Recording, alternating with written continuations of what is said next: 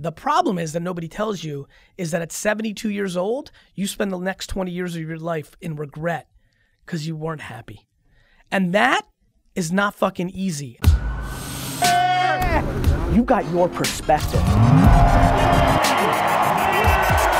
just want to be happy. Don't you want to be happy? Hey, everybody, you've been listening to a little bit of sports card conversation with Marc, Lore, and I. Uh, actually, Marc, why don't you first introduce yourself and then we'll get into it. L- a little bit about who you are, uh, and, uh, and then we'll get right into it. Sure. Yeah. No, I, I'm currently running Walmart's e-commerce business, but uh, you know, I've always been an entrepreneur. Started a bunch of businesses, sold one to Amazon, sold the most recent one to Walmart. That's how I got part of Walmart, and been running Walmart's e-com business the last uh, three and a half years now. So let's take it way back. Where'd you grow up? I grew up in Staten Island, New York, till I was about. How old uh, are you now? Fifth grade. I, uh, I'm 48. Okay, keep going. Yeah. To about fifth grade. fifth grade, and then moved to uh, a place called Lincroft, New Jersey, right next to Red Bank, New Jersey, Mm-hmm. exit 109 on the Parkway, because that's what people do when they talk about Yep, New Jersey, right? it's true. Uh, right near Bruce Springsteen. Actually, I was uh, my st- I actually went to the same gym as Bruce, and when I was 16 years old. Um, I was in the gym, and he was. We were both just two people in the gym downstairs, you know, in the in the kind of the garage. And he like looks over and he goes, "Hey man, you want to spot me on the bench press?" And that was like, "Oh my god!" a 16-year-old. Highlight of your life. I went to school the next day. I'm like, you know who asked me to spot them? and, like- and people are like, "Nah, come on, man." No, no photos back then. Yeah, exactly. what kind of kid were you? Uh, I was very scrappy, entrepreneurial. I did every business you could possibly manage as a kid, from lemonade stand as a really little kid to car washes, lawn mowing, weed picking, newspapers, recycling, Snow shoveling? snow shoveling. That was a big one for me in this East yeah, I mean, New Jersey I mean anything, and I was I would basically just outwork anyone. you it's know? funny. One of my was- friends. Go ahead. That's it. Yeah. Yeah. My, my friend reached out to me. He's like, you, who grew up with me. He's like, you know, you've told all the good stories about us as kids. He's like, but you haven't talked about your biggest hu- hustle business. And I'm hmm. like, and I was excited. I was like, what? And he's like, bro, you don't remember that in Christmas time we would gather together and you would ring the door. We would ring people's doorbell and say, hey, ma'am. Would you like to pay us a dollar for singing Christmas carols? He's like, You were a nice Jewish boy ringing the doorbell and saying, Hello, ma'am. Would you like to pay us a dollar for, for Christmas carols? Hit it, boys. Dashing through the snow. I mean, like, literally, literally, Any- literally anything for a buck. right? literally anything for a buck. Yeah, I was like, Uh, so great. So obviously, I but associate working super well. hard too. You know, like it would be like I would just like pick weeds for like twelve straight hours, and it was like fine. Marc, Like, you know, you back didn't if you moved in fifth grade, so you were older than me. Great. So like literally, when you were in Jersey, and I was, I was, you know, 25 exits away from you, which means we basically got the same snowstorms. Yeah. And and when I tell you that my friends still resent me for the fact because I was also a charismatic leader as a kid, so I could get the energy up. Everyone would run outside, no school, Nirvana. Everybody run outside, sleds in hand, ready to go. And I would literally will everybody after a 20 minute conversation into literally shoveling snow for nine hours. they hate me, yeah. but it No, taught me a lot. I had the same. I had the same kind of mentality. It was just weird. It was just. It was in you. Yeah. People always ask me, they're like, "How'd you learn?" I'm like, "It was in me." Yeah. I didn't read a, a business book and Yeah. when I was But six. By the way, we were talking about sports cards. So what I also did in high school is I started a company called the Mint, which basically bought cards direct from the manufacturers, and all summer long put together sets with my uh, really close friend Lax. Um, we would, we everybody would, needs a lax. Yeah, Lax. We, Lax Chandra.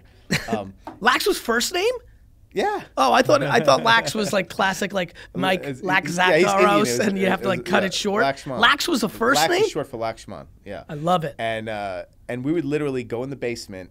What what year sets? Cases, 87. 87. Yeah.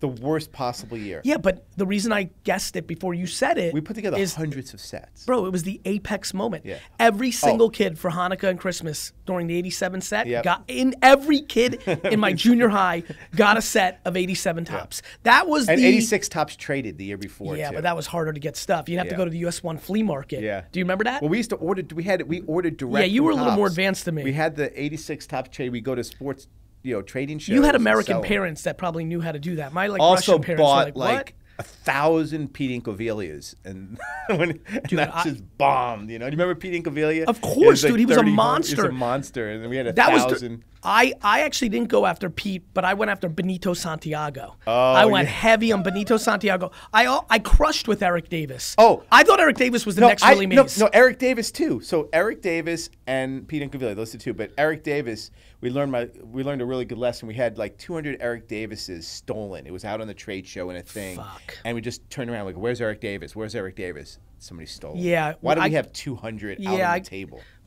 You know it's cr- it's crazy. The other guy, you know who I got murdered on? Cory Snyder. Oh yeah, the Olympic card. He got destroyed on him. I thought he was the. I thought he was Pete Rose in the making. That was that era. But you know what's funny? Where did you do shows? Malls, JCCs, Yeah, malls. fire stations, all that yeah, shit, all right? that shit. Yeah, fire Dude, the- we had the stations, same up. I mean, it makes so much sense that we have so much crossover. It makes so much sense. But then okay, I started. I started to. Uh, this is the thing. I right idea, but didn't know about about really grading at the time. But Well, grading I basically, you know, bought every Cal Ripken Jr. I could find, and this was, you know, before he really became like you know what he is today. did you get hot because he had of hitting streak? Because I remember I went to a bar mitzvah around that time, and everyone's talking about Ripken. Like he was just such a great player at that Yeah. point too. Yeah, But you had rookies, eighty-two Topps. Yeah, Like, 82 Topps. I just had like Traded? hundreds of them, and and then it turns out like I went to uh, recently, you know, went to get them valued, and of course they're not graded, and people looking at them and going, I thought this was mint, but no, it's like a six. It's like no, Because when you and I like were in the game, mint. here's why. Because you and I came up in the game when there was nothing around centering. Yeah. It was all corners and creases. I know. I It was know. all And corners even and what we thought was mint, still the difference. Like mint starts at like you know six or seven now, and then you get the really eight, and then nine, and then ten is like gem mint, perfect. You know. When did So- cards become not cool to you? Like what ha- what happened? So you're a little bit older than me, so it kind of like you went through high school during the era that it was I- still on fire. Yeah. Were you in the high game? School, Yep. Did it in college. Yep, it was still then, that's still, right. Still was into it. And then uh, I think I got really depressed when like grading suddenly if a card wasn't graded, it wasn't worth anything. And then I'd get some cards graded and they come back like bad grades and I'm like, oh man, everything. It's like, over. All these rookie cards like I bought for like these Cal Ripken rookies. I bought them for like. 30 bucks m- mint rookies which would if there was a PSA 9 or something would be worth you know, Yes, hundreds. thousand or And something, you know, thousands, hundreds, thousand, yeah. Yep. And uh, and they're basically like, now they're coming back six, five. Like it was just so depressing. I'm like, oh, so this card is like still only worth twenty bucks. It was just, uh, I was like, you know what, forget this. Then I got like a resurgence, you know, uh, like in my mind of like, okay, I'm gonna just like get back into it, start buying some tens, some like really good. When you got older and had yeah, a when I got older, more, had yeah. some more money and stuff, Uh-huh. and uh, and then and then I just Yeah. Evolves, yeah. ebbs and flows. Yeah. What was it? So what happened? When did you take your entrepreneurial game to the next level? College? After college? college I did uh, did a hedge fund in college learned learned a ton there that was kind of a cool thing but the next Let's talk about that. That's a little. That's a pretty intense leap. Yeah. In college, you decide you know what a hedge fund is. well I started I was uh, so into stocks as a kid I Got started it. tracking stocks like 10 years old like Got in a it. book Got it. like Kellogg here's the Yep. price every Sunday and then I started reading books on the Magee and Edwards technical analysis of stock trends and derivative books were you in a seventh grade Were you a good student? Yeah, me neither. No. So what? What did you do for college? I was reading. they were reading like you know history and reading literature, and I was reading you know books on derivatives. Well, this is what know? I'm talking about. I would sit in class because I knew I was going to be in the wine business at that point, and would memorize the Wine Spectator, and would like look at my friends who were making fun of me that I was a bad student. I'm like, "You're reading the Scarlet Letter." Yeah. Like, fuck you. Like, who gives a fuck? Fuck Catcher in the Rye. Yeah. I'm sure I'll figure out the theme of that fucking story Yeah. in life. Oh, Cliff Notes tell you really quick. What I couldn't even read that shit. Yeah, no, I. I That yellow thing? yeah, I didn't fuck with thing. that. But yeah, I, I didn't get through that either. I, I got through this. I could read the summary of the Cliff Notes. I could like sit. I could sit and take the so test and like know. draw a Bart Simpson like character and write like a. I used to write nice. I used they, literally they would give me a test in English. Miss Horvath, if you're listening to this, if anybody knows Miss Horvath from North Hunterdon High School, 1990 to 1994, please send her this because she might remember this. She would give me a literature test, and I would do two things: draw a character. Literally, in the answer number one, draw this Bart Simpson looking like character. And number two, write her a charming sentence of like, I really like the way that you handled Brian Bennington's outburst last week, and you know, I know that I might not be achieving to the level that you want, but I really, really like what you're doing for Megan Murphy. like, like it's just like, you know, like, and that That's so funny. rarely worked, but once in a blue moon, I'd get I like was a B for that. I was the well, okay, you know, I didn't. I was the same in literature. There was, there was one test I'll never forget. It was like I knew nothing. I didn't read the books. I knew nothing, and I just sat down, put my name on the front, and I asked. I said, you know, when you're done, can you bring your paper up and go to study hall? She said, yeah. When you finish, yeah, just go to study hall. So I got up, Yeah, put I it up, and I- gave it in. She goes. Marc, you didn't answer anything. You're like, yeah. I said, well, I don't know anything. she said, you know, this is going to be a zero. I said, I assumed it would be zero. Yeah. Because I didn't do anything. And then she said, you know, this means you're going to get an F, F. in this class. I said, yeah, I pretty much assumed that. Yeah, yeah. Um, I assumed that walking in day one. Before I would cover my book with a brown paper bag, I already knew an F was well on its way. All right, so you start a hedge fund. Did you make money? I actually did not As much as you thought. recommend. Well, Yeah. not the way it was pretty much luck. Yeah. Um, and then it was the stress of doing it as was a like, kid "Fuck with this." people's money. I'm like, yeah, forget this. Whose money? Whose money were you taking? uh, it was like so funny. We had like this a couple like wealthy kids on campus got the money from their dad, and it was like I, I don't even know how uh, who would give like a, couple college So kids then what some happened? money. I did this with a friend. Um, so then we just we actually made some money, but it was too stressful, And then? we, we, we you know gave money back, shut it down, and then uh, and then the next thing I did, I went to work in a bank because I knew stocks and, and derivatives and everything as a kid, and so went to work at Bankers Trust, and uh, and then got into financial risk management, which was kind of a hot thing then, where Okay. like you're managing like what's the risk that the bank's taking on their proprietary books and derivatives and options and stocks and bonds and stuff like that. Arb and hedge. Yeah, so I got into risk, which was which was pretty cool, right up my alley. I was always good at math and stuff, so I liked that. So this Um, was early mid twenties. yeah, early twenties, And how did you? So you were having fun, making some money. having fun, making Saving some some money. Yep. Okay. Yeah, saving some money, and uh, and then you know got this idea with um, this guy Lev that you know there was no there was no certification exam for Wait, so Lax, Lev, like you're you're into these. elves, yeah. yeah. Yeah. So if there's a loose sitting out there right now who wants to do business with you, they should reach out. Go ahead. So so uh, you know basically in this field of financial risk management it's pretty new there's a chartered financial analyst there's a you know cpa there's all these you know certification exams nothing for financial risk managers so i kind of just got the idea like why don't why don't we create a certification exam for risk managers everyone's like dude you're like 24 years old like who's going to take your exam like how you can't just you can't just certify people You're like, sure I I said, can. why not? I'm going to certify. That's how everything people." works. Yeah, I'm just going to certify people. And so, so We should I trade rocks, and then we believe that cash was right. yeah. And now people think cryptocurrency. I mean, So of it's course crazy. you can. So it's crazy. So so people say all the time. They say, well, how do you do something like that? How do you get started? I said, first of all, you don't overthink it. Basically, you put up a website, and we said. Here's everything that's going to be on the exam. Here's what we're going to test you for, and we picked the date like a year out, and we said, "Here's the date, 500 bucks. Here's everything on the test." How'd you? How'd you how'd you market the website? Um, you know, keyword in Google, keyword search stuff. What year was this? This was 96. Mhm. 96. So it's pre Google. uh, maybe it wasn't Google. Maybe it was Yahoo? uh, other search engine. Yahoo. Yahoo, Yeah, it yeah. search engine. Yeah, Yahoo. Ask Jeeves. I think I remember the big moment was when they dropped the ass. They're like, now it's just Jeeves. I'm like, all Yeah, right. yeah. Dog pile. Yeah. I don't know if you're. I'm going into like hardcore old school. Dog pile. Yeah, I remember. Do you remember all Dog those. pile? Yeah, uh, what's the Lycos? Lycos. Yeah, Lycos. Yep. Okay, so you did that. so, and then I started getting checks. Yeah, And we're like, oh shit, we got to write this exam. So me and Lev like sat down and like wrote Tell, real quick, because this is fun for young entrepreneurs. Tell me the moment when you came home, and in your mailbox you open it, and there's an act that first check. $500 check. You were like, holy shit. I was like, holy shit, that's really funny. Some some guy actually like sent a check in. Like that's really funny. Like does Right. he know there's like nothing behind Yeah. this? And then another check, another we got 34 checks. We made 17 grand in checks. And we're like, then we looked at each other, Lev and I were like, I guess we have to write this exam. what did Le- what was Lev doing? Lev Lev was actually uh, a risk manager also at, at, at Credit Suisse. And uh, and we You worked knew him from school, or you No, no, we you worked together at- at you liked him right Suisse. away. Yeah, he's a, he's actually a, a uh, rocket scientist. He's a nuclear like you know guy from Russia. This Yeah, Russian guy these Lev. Levs, and those we became a good Russians. friend. and it was just fun. And and and so yeah, so we sat like weekend after weekend writing this exam. Now I'm like, you know, he's older than me, but but I'm, I'm 24, you know, like just learning the field, and we're like writing this examination that we're going to give people. And then we wrote the exam. We went down. Thank God York. Lev was there. The guy, exactly. Lev. we administered the exam to these 34 people, and we got back, and we're like, all right, Now now, who do we pass and who do we fail? So we basically just decided we were going to like, you know, the top 50% we're going to pass and the bottom 50% we're going to fail.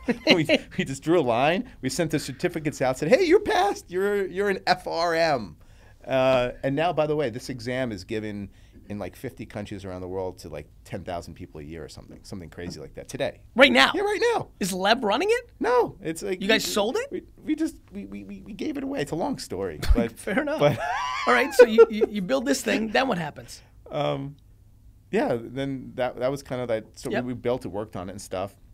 We gave it to the not-for-profit association called GARP, Okay. and uh, and just got the bug for entrepreneurship. It was like really fun to like basically just create something from nothing. So what and happened then next? I'm about seven years into my banking career. I'm chief risk officer now at Sanwa Bank. As a youngster.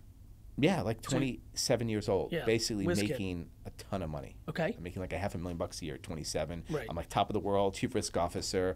It couldn't, life couldn't be better f- for someone my Like age. It Yep. was great. And then I just, I just had this thing like I didn't want to be sitting here 10, 20 years. I didn't want to like Yeah. be in banking. I wanted to start a business and be an entrepreneur. So I just got the nerve up and decided I'm going to quit and be an entrepreneur. And I just went into my boss's office and I just, one day I woke up, I just said, I'm going to do it. I went in there and I said, hey, I'm, I'm going to quit and be an entrepreneur. And the, the guy laughed at me. What year was that? This was 99. Yeah, long before it was cool to do what you did. Yeah, 99. Okay, and, And and uh, he, he laughed at me, thought I was crazy. Said, "Hey, didn't you just have a baby?" I said, "Yeah." He said, "You know, you make paying you a lot of money." I said, "Yeah, I know." He said, "Well, well you must have a great idea." I said, "I don't have an idea yet, but I know I need to like focus and go all in on this thing and just basically cut the line and just go all in." And he's like, "Man, you're serious?" He's like, "Well, here, I- I'm gonna put 50 grand in. I don't know what it is, but like if you're crazy enough to do this, I think you're gonna make it work." Wow. And he put 50 grand in. I didn't know anybody with money at the time. Like, so he put 50 grand in. And basically, he introduced me to two friends, and they introduced me to two friends and two friends. I wind up pitching like 120 angel investors.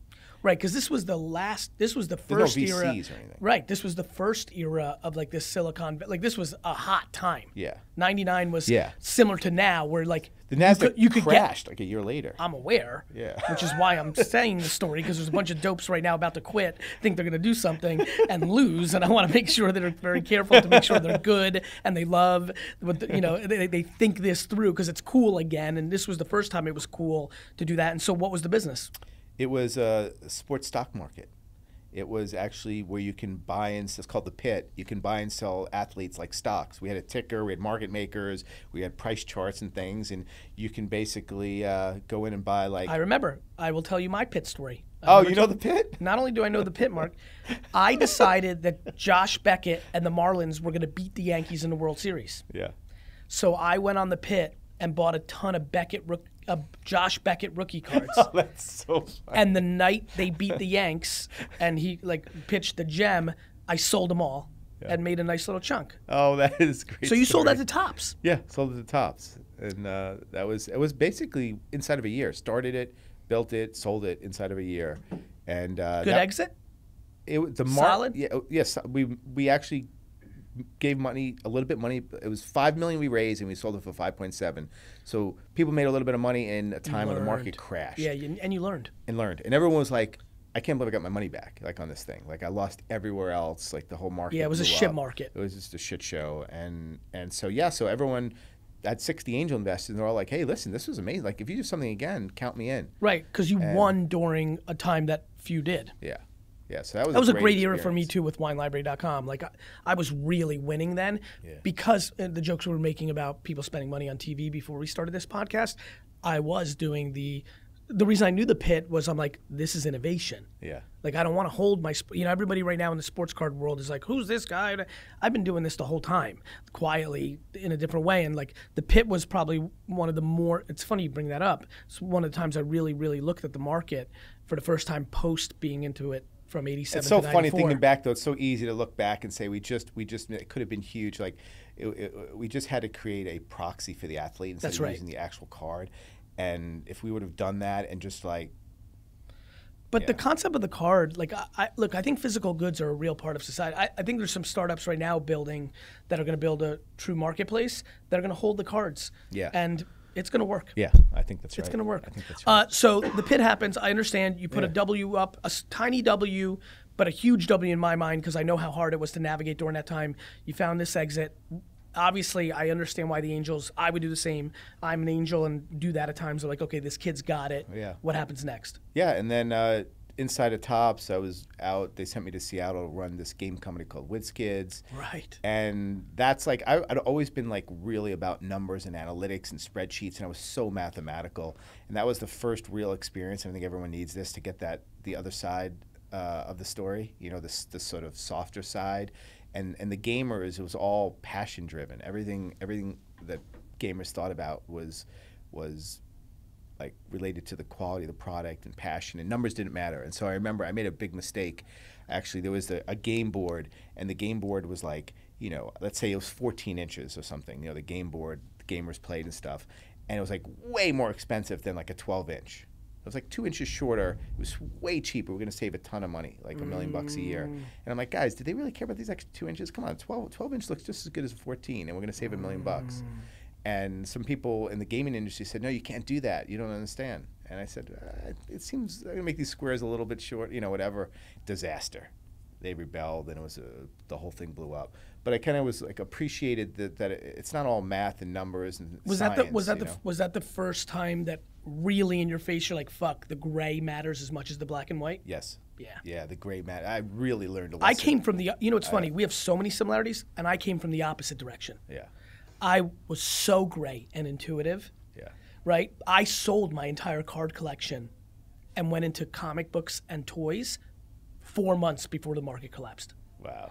Cuz I could cuz I could I was I was gray. Yeah, you're into. I was gray. Yeah. I didn't, you know, and so, and over the last 20 years, I've developed more appreciation for the black and white, Mm-hmm. and but I still am a gray leader with a respect for black and white, and I would argue that you're probably based on your natural talents, a black and white leader with a respect for. Gray. Yeah, no, I think it's funny you say that. I, I think I've actually gone to the other side. Wow. I've gone full on. So like I I am.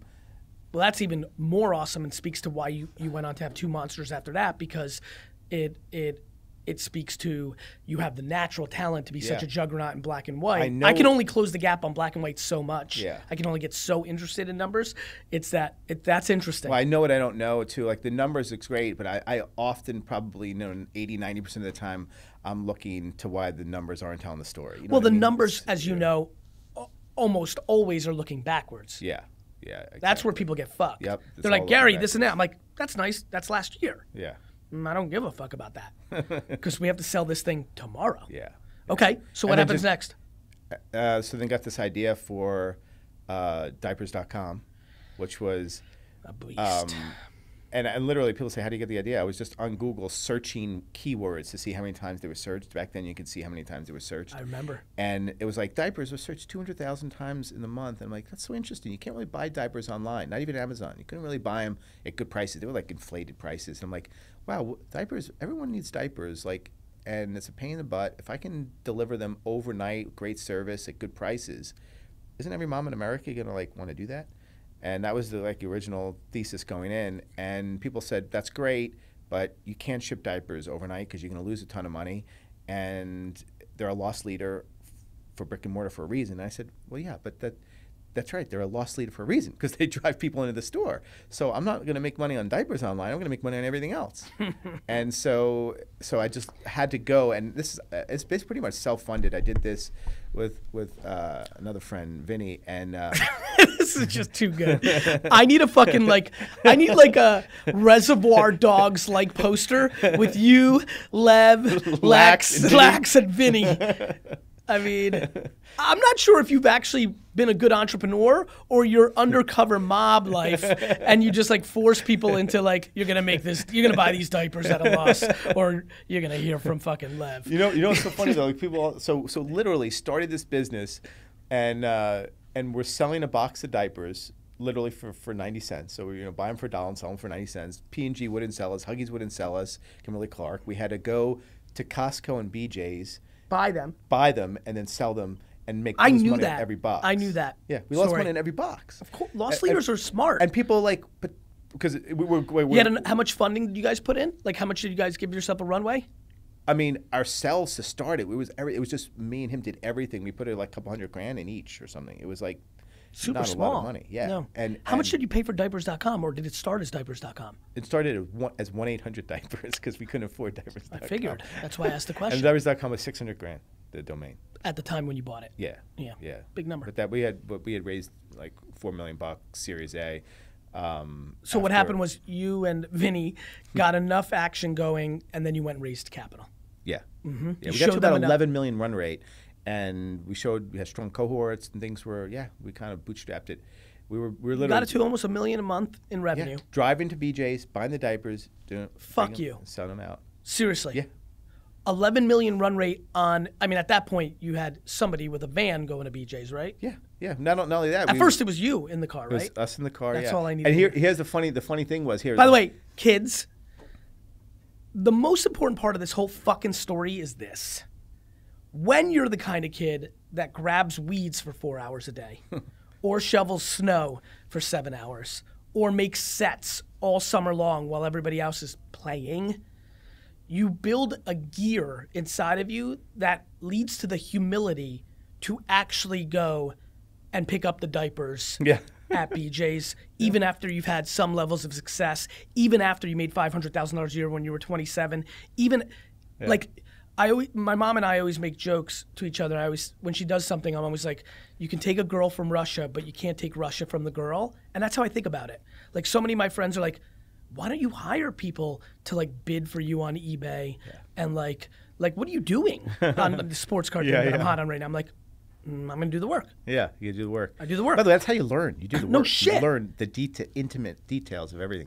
But anyway, a thousand cases a day. I by the way. apologize one more time, Marc, because I want value for the audience. This is why I don't begrudge students. I don't begrudge smart people or people that like to learn. I begrudge just staying only in classrooms and books because you never do, which means you actually don't know. Yeah, yeah, I agree.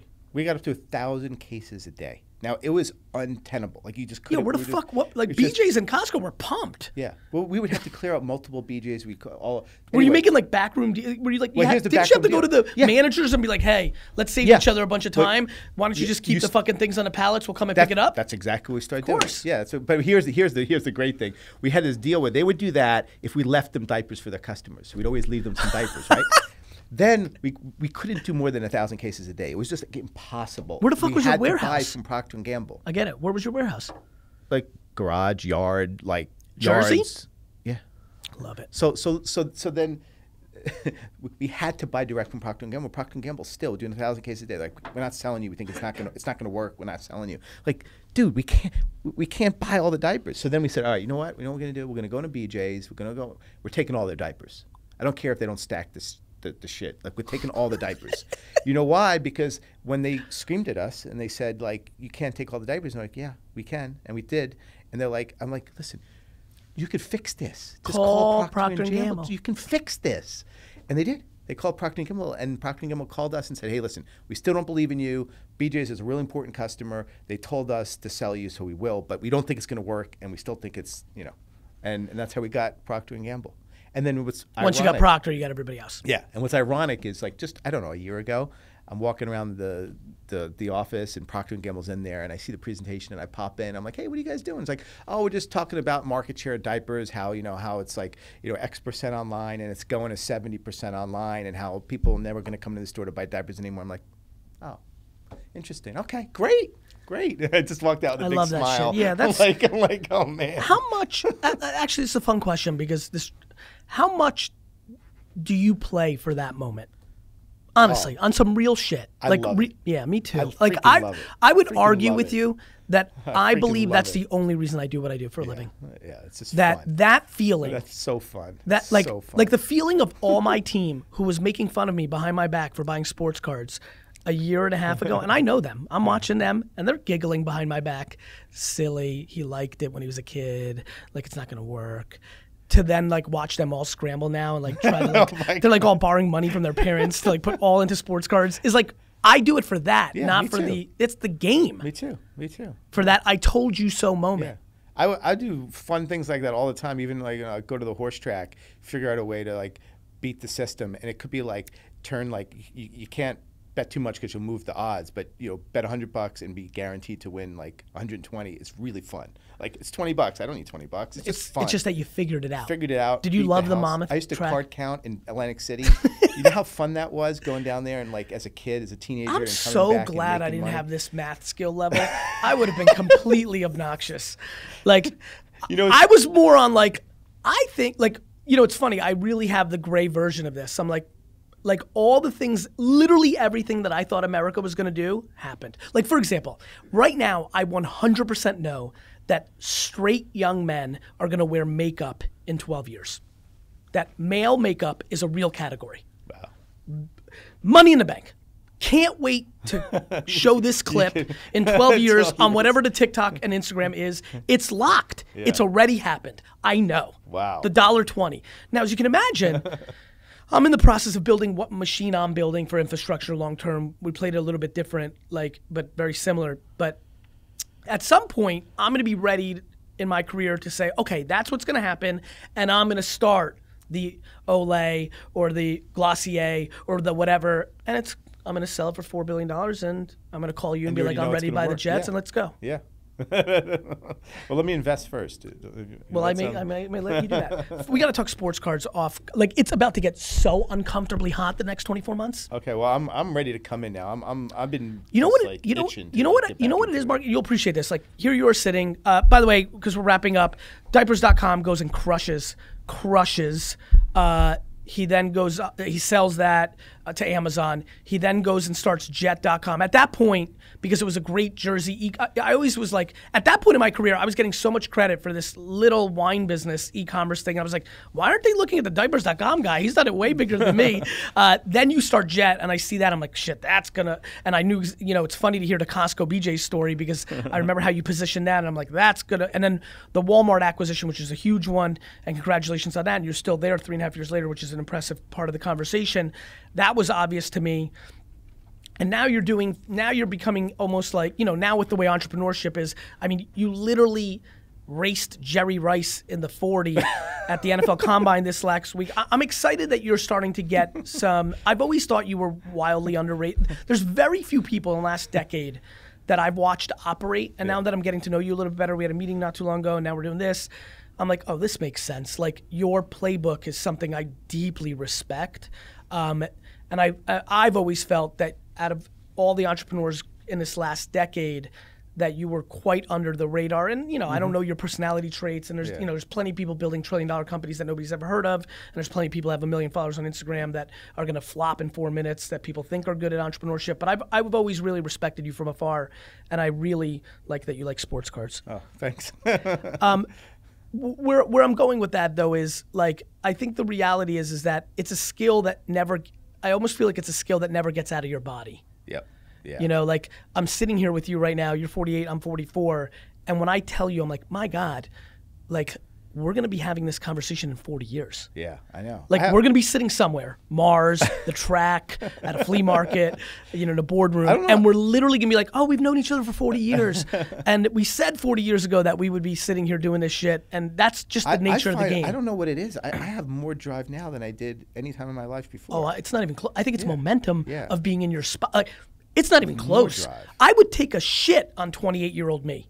Yeah. That kid couldn't even compete with me. I feel the same way. I couldn't. It's not even in my world. I feel the same. That way. that dude sucks. Yeah. I feel the same. I would beat the shit out of him. Yeah. I could work harder now than I did then. Yeah. A hundred percent. I, I agree. I agree. Anyway, what any anything that we didn't touch on as we wrap up here? Any parting wisdom for the kids and the not kids that are listening? No, anybody who's thinking about starting a business, though, I, I would say go for it. Right, because the loss is worth it, right? Yeah. Do you say go for it that blazant because you also realize that regret is scarier than everything, and if it's really in you, whether you completely like, I keep telling people, I, the I- fear is what drives you. To, I, I also think like if if you're scared to do it, and you do it, you're gonna put in the best you've got. and that's what it's going to take. But if you but if you put in the best you've got, you're going to make things happen. I don't know where it's going to lead. You're going to go through failures. You might have some ups and downs, but if you just stay at it and just go after it. And Marc, and I think I think once people start making the world about happiness, not money, then this is going to make a lot more logic. Yes. Because a lot of people go for it, have a nice home in Summit, New Jersey, right now, make four twelve a year, life is good, kids in private school, good shit. Jersey Shore house, like good shit, good shit. And they're going to listen to us two Jersey bozos, and they're like, "Fuck it, I'm unhappy, I'm going for it." Yeah. And the story for Hank is it's actually going to fail. Yeah. Because what Hank was was a number six. Yep. He was a number six. Yeah. A great number six. Yep. You know, it's the Scottie Pippen thing. Scottie mm-hmm. Pippen is all time overrated, in my opinion, because he had a great all time number one hiding it. Yeah. And when he went to Portland and he went to Houston, no. And and by the way, Hank right now at 412 a year is listening to us and go for it. Let me just finish this thought and I can see you want to jump in. Go you have to no, go? No, no, I have to go. Oh, you have to go to the bathroom. So go. I'll finish this. Go. Yeah, go. go take a peek. So let me finish my thought. One, I find it fascinating that Marc couldn't hold it. Like, I, I just think that's all time interesting out of all the things. Number two, on the Scottie Pippen thing, it's not to razz Scotty, and of course, this is coming from a Knicks fan who's bitter. But Hank, if you're listening, Marc's right, not because of the money, but because of the happiness. Because you're 44 and your life is good, but you hate your fucking job. You hate it. You you really know you actually hate it, but you like your life. What you need to ask yourself is do you like your life because of the financial things that are happening and it, you look happy versus actually being happy? Because I can tell you when you make that jump and you fail and you have to have the shame, and that's the word I'm going to use the shame to move your family out of Summit and move into another town. And you got a 12 and a 9 year old who are now crying because they're going to a different school. And they went from being fancy to maybe less fancy. Like that is a lot of carnage that most people don't have the stomach for. The problem is that nobody tells you is that at 72 years old, you spend the next 20 years of your life in regret because you weren't happy. And that is not fucking easy. And I don't say this lightly, but when I hear Marc say, go for it, I actually understand it because I spend a lot more time analyzing what 70 and 80 and 90 year olds say. And I understand why a 44 year old doesn't have the strength to disappoint their kids or to look stupid in front of their friends or to like confuse the world. And it's easier at 27, even with a new kid, than it is at 44, which is why I love the internet. Marc and I are bypro- we would be totally different men in our careers if the internet didn't come along. If you listen to his stories, Google and diapers and and landing page and $500 check and the pit, we are the byproducts of our age of the entrepreneurs that had practical opportunity on the internet that would have never existed if we were 40 years earlier. That's what I want for everybody to realize. We understood that and that's what we navigated on, you can have a side hustle too. So we talked about Hank quitting. Let's talk about Hank instead of golfing for four hours on Saturday. Let's talk about Hank instead of coming home and having a glass of wine and watching the news, the Daily Show, or sports. If you're really unhappy with what you do for a living, give me back those 14 hours that you waste each week and set up a landing page, set up an Instagram account around Star Trek or soccer or sports cards. Side hustle practicality with patience where you build it where where Marc and Lev had to look at each other and say, "Fuck, maybe there's something here now." Notice what he did. He did what I do. Do shit. That's and then let the market show you there's something there, and then grow, right? Just- like you just got to put the time in, right? the time. That's this goes, key. brother. It's the weeds. It's pulling the weeds. Put the Too many people are entitled and don't want to waste their time when their time ain't worth shit. It's a good way to end it. Thank you, pal. Thank you.